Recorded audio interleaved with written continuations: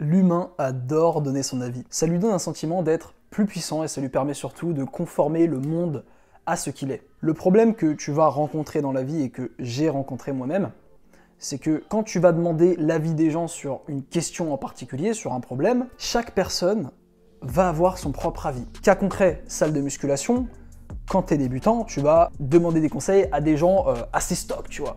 Leur demander des conseils sur quels sont les exos à faire, qu'est-ce qu'il faut manger, euh, combien de répétitions faire. Et tu vas te rendre compte très rapidement, si tu es un habitué de la salle à un moment donné, que la plupart de ces mecs-là vont te donner des conseils totalement contradictoires. Tu vas avoir un mec qui va te dire écoute mec, pour travailler tes pecs, faut prendre hyper large au développé couché. T'en as un qui va te dire non non non, faut prendre serré. T'as un mec qui va te dire faut manger des shakers de protéines. T'en as un autre qui va te dire ah non, faut prendre de la créatine etc. et j'en passe. Chacun a son avis sur la question. Ce que je vais essayer de te faire comprendre dans cette vidéo, c'est qui dois-je écouter? Je préfère te prévenir, il n'y a pas de réponse toute faite.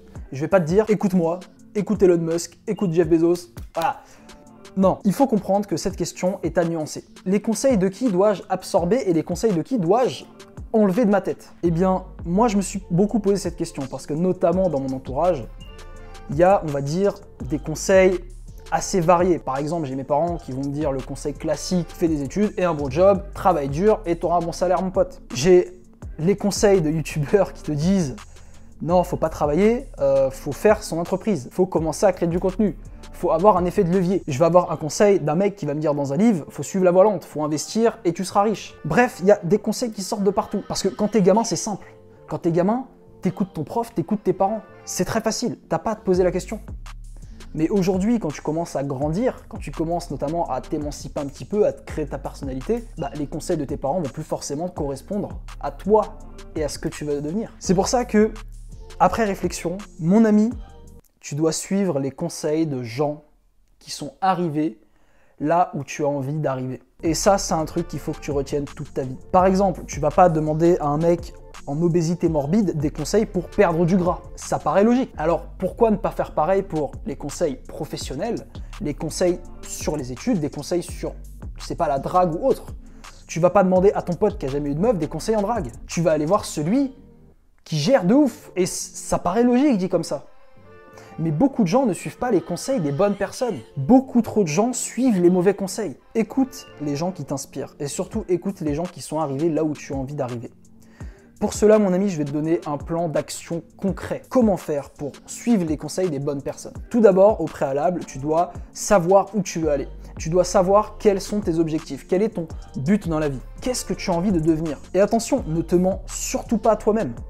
N'essaye pas de plaire aux gens, n'essaye pas de te dire Oh bah moi je veux devenir trader. Parce qu'on sait tous que trois quarts des gens qui font des études, qui veulent avoir un job bien payé, c'est pour pouvoir acheter des belles voitures, avoir un bel appart, pour pouvoir impressionner des gens qui ne n'aiment pas. Là, vas-y, je te demande. Si tu étais milliardaire, si sur ton compte en banque il y avait un infini, qu'est-ce que tu ferais de tes jours? Ça, c'est une des questions les plus difficiles à répondre. Putain, c'est pas français ce que j'ai dit. C'est une des questions, une question qui est beaucoup plus compliquée qu'on le croit. Et moi, quand je me la suis posée, j'ai pris plusieurs jours, voire même plusieurs semaines de réflexion avant de me dire ce que j'ai envie de devenir. Parce que finalement, tu vas avoir cette première impression, euh, cette première intuition qui va te dire euh, ah bah moi je veux avoir un bon job euh, parce que voilà j'ai envie d'être bien financièrement. Mais c'est pas réellement ce que tu veux. Trouve ce que tu as envie d'être.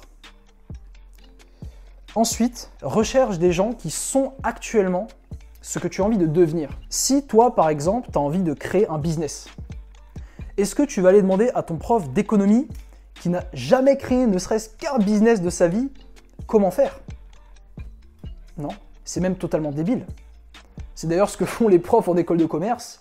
Ils t'apprennent à soi-disant créer un business, alors que les mecs n'ont jamais fait ça. Repère les bonnes personnes, repère les personnes qui sont là où tu as envie d'arriver.